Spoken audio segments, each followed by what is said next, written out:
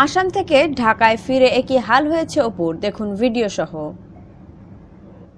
সামাজিক যোগাযোগ মাধ্যমে ঘুরছে অপু বিশ্বাসের একটি ভিডিও ক্লিপ। গ্রুপে এবং পেজে শেয়ার হওয়া সেই ভিডিওটি শো করছে মানুষের নিজস্ব অ্যাকাউন্টেও। সেই ভিডিওর জন্যই নেট দুনিয়ায় ট্রোলের শিকার হচ্ছেন অপু। ভিডিও ক্লিপে দেখা যায়, স্বতঃস্ফূর্ত শব্দটি ঠিকমতো উচ্চারণ করতে পারছেন না ঢাকায় চলচ্চিত্রের এই নায়িকা। সেটা নিয়ে মজা করছেন সবাই। বাংলাদেশ চলচ্চিত্র শিল্পী সমিতির দ্বিবার্ষিক নির্বাচনে ভোট দিতে এসে গণমাধ্যমের সঙ্গে কথা বলছিলেন তিনি। সে সময় নিজের অনুভূতির কথা জানাতে গিয়ে স্বতঃস্ফূর্ত শব্দটি সরাসরি বলতে না পেরে অপু বলেন, ইস পুচ্ছুত না কি বলে?